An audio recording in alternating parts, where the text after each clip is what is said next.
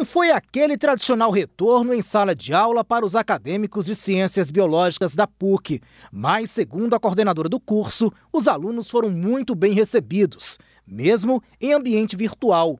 As aulas continuam remotas pela plataforma Microsoft Teams, com apoio do sistema Online Sol. O colegiado, né, os professores estavam presentes e também o, o alguns é, estudantes que participam do centro acadêmico. Então, a gente fez uma longa conversa, a gente se apresentou, eles se apresentaram. É, então, a gente fez essa, começou a fazer essa transição é, para esse mundo novo. O curso de Biologia da PUC tem uma visão generalista sobre a biodiversidade e sua organização em diferentes níveis.